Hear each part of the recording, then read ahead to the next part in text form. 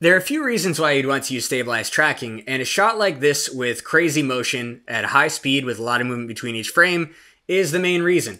So if we take a look at this shoe and we're trying to track this, there is a huge difference in distance and angle between each of these frames. If you're using a lower accuracy tracking mode, the point just might get completely lost depending on how far and how fast that's moving. So let's try that. Okay, not one of our proudest moments as a tracking developer to see that happen, but it can happen when there's crazy erratic motion because when when we build these tracking algorithms, it's based on the most common types of movement in a shot, which is usually significantly slower in shorter distances. So we're going to have a shorter tracking scale reach that's not going to look quite far enough sometimes to find the texture. Now we could crank this up and increase the pixel reach, but let's actually take a look at how we would deal with this if we couldn't change the tracking mode. So the first thing to do would be to move through the shot and make some adjustments on your object. So we'll just say that this object is the shoe.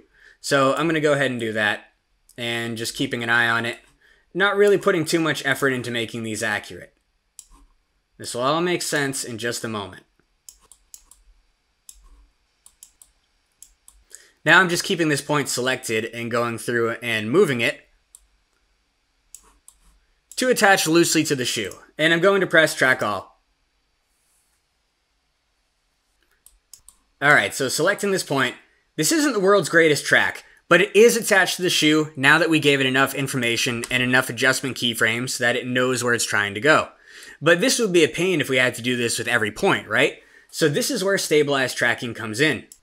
Let's frame up the object using some expansion points and make a mesh around it. So I'm using Control Alt Shift and click.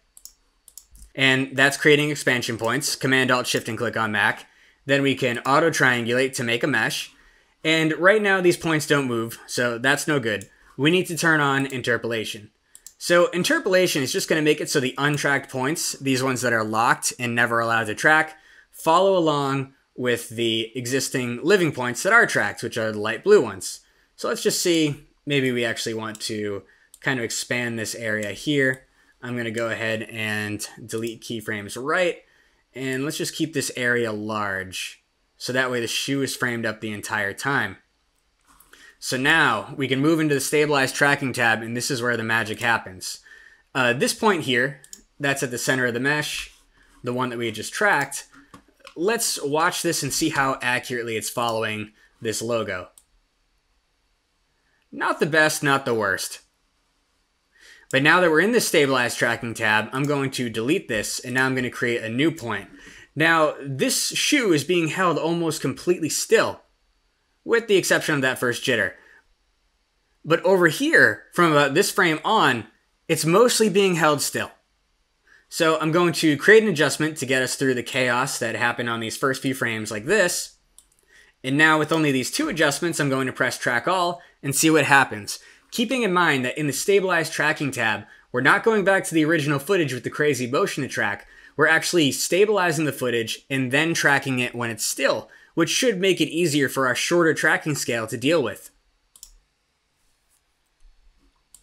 Just selecting this so it's more visible. And you can see this is doing a better job than the other one with only those two points there. And then again, I'll probably just make an adjustment and move that back to where it's supposed to be. Check on it a couple of times, wherever. Uh, not super important. Now, this shoe is rotating, and that's a problem. So this is also where stabilized tracking excels. This is exactly what it was made for. Let's take a look at the tip of the shoe here. And I'm going to create a point there. And let's just kind of visually follow it as we go. Well, it's a little bit difficult to do, but you can see close enough. There's the point there. Maybe it's there too. And now we've just created three adjustment points. And this point is going to be a bit easier to track in the stabilized view because it's not moving around as much. So let's track that. All right, and scrubbing along, you can see that track's kind of okay, not perfect. So, how do we make this easier to deal with so the shoe isn't flopping and rotating all around? Let's go back into our main tracking tab here. We can clear the mesh. We can auto triangulate the mesh. Let's see how this is moving now. Actually, we may just want to compensate by framing up the foot a little bit better. It looks like these guys moved around. Maybe it might be easiest to just delete these expansion points entirely And let's just create some far-reaching expansion points out here and auto-triangulate so it's all part of the mesh. And now this is going to be fun when we go back into the stabilized tracking tab. Actually, let's do this, uh, let's make this flat. So this is a good frame for it. We're going to press set lockdown mesh UV frame, and that's just going to use this frame here as the stabilized frame, and that's going to be just a little bit easier to see and deal with. So now when we scrub, see how this is being held mostly still, and we're compensating for the rotation. So now when we go to correct this point, let's just go ahead and move that there and then moving along, correcting that there, you can see that now this is being held still. It's much easier for our human eyes to make some corrections. All right, and once again, let's press track all. So now this point is tracking pretty well, but it's still a tiny bit nauseating because the last time we tracked it, it wasn't perfect. We have a shortcut to update this motion. It's just this button here, reapply interpolation. So make a mental note before I press the button. Watch this point. If I place this, let's say, see how it's kind of overlapping this uh, this stop button? You'll see that this is moving left and right and it's going all around now, right? So relative to the UI, this thing is moving a lot. Once I press this reapply interpolation, it's going to restabilize on all the points. And now when I scrub, you'll see that this is completely locked down so much pun intended. Okay, so scrubbing along now, now this whole shot is much more still. And you can see all the rest of the shoe is going to be easier to track. Because we've manually tracked these two points, which really wasn't a lot of work, I was mostly talking through it. Now this whole mesh has been stabilized based on these two points, and adding more should be pretty easy. So I'm just going to add a point here, and another point there, and there, and there, and there, maybe there. And let's just see what happens when we press track all. Scrubbing along, those points are actually tracking really well with very minimal effort. This point looks terrible. We're just going to delete that one, that's fine.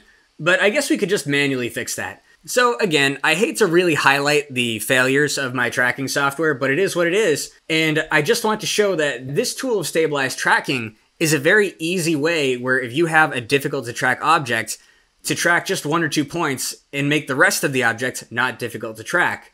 So what I'm going to do is just for comparison's sake, remember each of these points, we placed a point on the first frame and we tracked forward and they did a very good job following, right?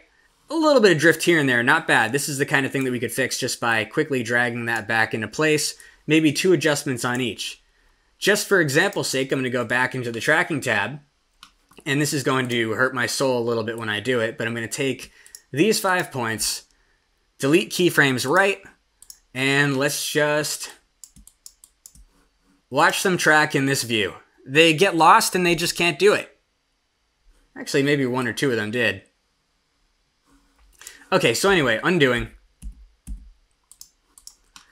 Moving back, that is the point of the stabilized tracking tab, is that you essentially give the software a hint of the object that you're trying to track, then it uses that object's motion to stabilize and focus on that motion when it's tracking in the stabilized tracking tab. Again, if we want to stabilize this even further, coming back into the main tab, clear the mesh, auto triangulate the mesh, and then when we come back into the stabilized tracking tab again, now it's being held even more still. So again, I'm scrubbing through this very quickly. Let's take a look at this point. Scrub through this really fast, and then I can make a correction. It's still kind of floating offset. That's fine. We press reapply interpolation, and now that's being held very still there. Make that little correction there, little correction there, reapply interpolation. Or perhaps just retrack again. And then I can go through with each of these points and just try to make a mental note of where they were when I created them and nudge that there. This point, let's see where was this one. It's right on that corner. Put that there. This one we've already adjusted. Now, mind you, at the speed that this thing is moving, you would probably never see any issues with the track here. We're talking a couple of pixels off, and even then it's finding its way back to its motion while this foot is just whipping across the screen, right? So if you were to look at these tracking markers here in this context, and you're playing this back in real time, we probably wouldn't even have to make those adjustments.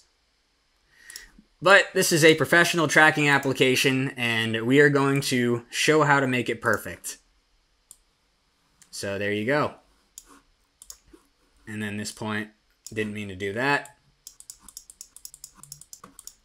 So each time we properly track a point, the shot is going to get a little bit more stable, and it's going to be easier to add more new points. To finish this shot, what I would probably do is take these points here, and I would just make some expansion points a bit closer.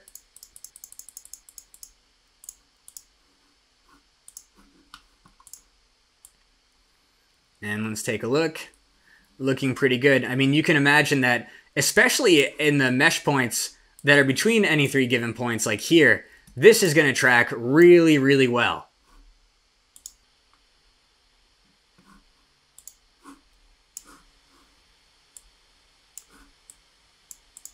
Another thing to point out is that you probably don't actually have to track because these points are being interpolated to follow these living points. So for example's sake here, again, trying not trying to confuse you, but you know, it happens.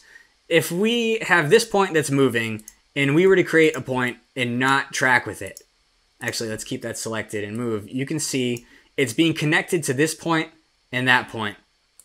And it's mostly moving along following the motion of those two points.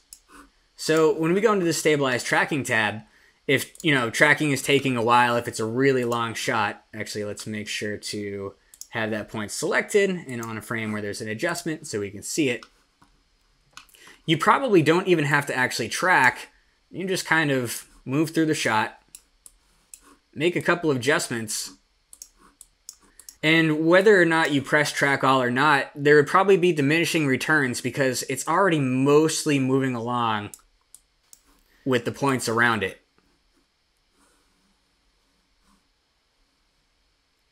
Okay, on time lapse, I'm just going to add like three more points and just absolutely whip through this so we can see a more final result. Okay, good enough. I'm not even going to bother pressing track all just to prove the point when this is in motion that these are interpolating well enough that it's probably going to look completely fine. So we'll zoom out. That is following pretty well. Wasn't too difficult to do, and we probably tracked it much more accurately than we needed to. We'll press lockdown. I'll just put something on here. Some sort of logo that I guess we would want to be putting on this shoe. Absolutely beautiful work. Actually, we'll just multiply that just because. Move through, we'll see that's on there pretty good. And the last thing is maybe adding some motion blur.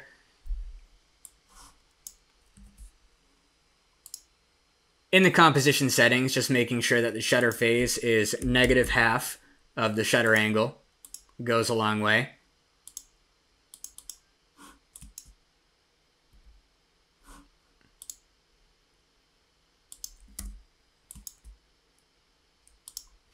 Taking a guess at whatever the shutter angle might have been on here to get a similar blur to what we're seeing on the shoe.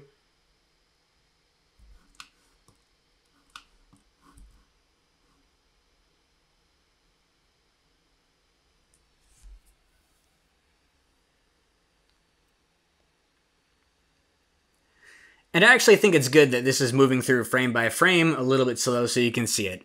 So that is a quick look at stabilized tracking and how to use it. Hopefully it's useful for you in any shots where there's really fast motion. Just track one or two, stabilize, and then it makes the shot easy.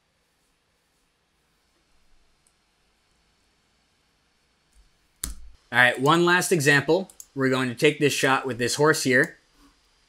And we're going to very quickly do the same process. I think sometimes it just helps to see it start to finish, but with a little bit less of me talking and explaining we're going to track one single point.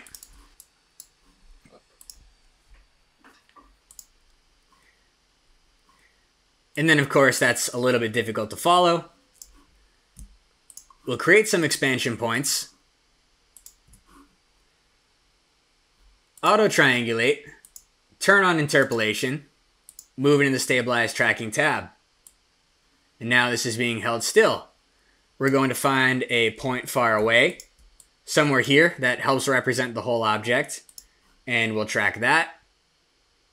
If you're wondering why it's skipping frames, it's just batch processing. It does a couple frames at a time. And now, of course, it's still moving a little bit too fast where it's comfortable to view with the human eye. So we would go back to our tracking tab, clear the mesh, auto triangulate, and now this will be contributed to the mesh. And these should update their interpolation. You can always just double check by selecting them and going to interpolated frame. There it is. Then when we move back into stabilize tracking tab, now that face is being held still really well. And at this point, uh, I'm probably not even going to bother making adjustments. I'll just add a couple here and there. And I'll hope that because we've stabilized those two, now the track is going to be much easier because we're tracking on top of this stabilized image and not on top of this more erratic, bouncing up and down, difficult to see image. I'll press track all.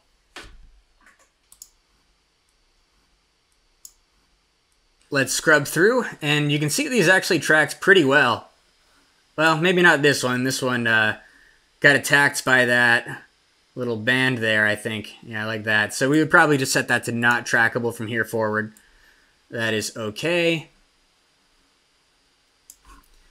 And then in the tracking tab, again, clear the mesh. Auto triangulate. Stabilize tracking tab again. And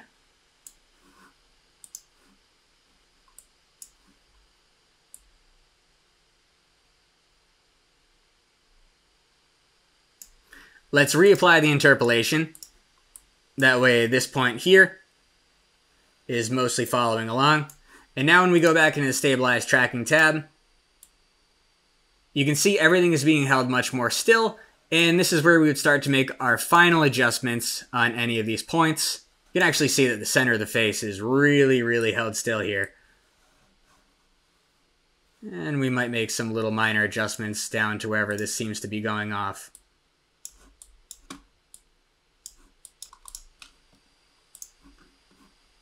and you just continue this process until the whole face is being held completely still. Thanks for watching.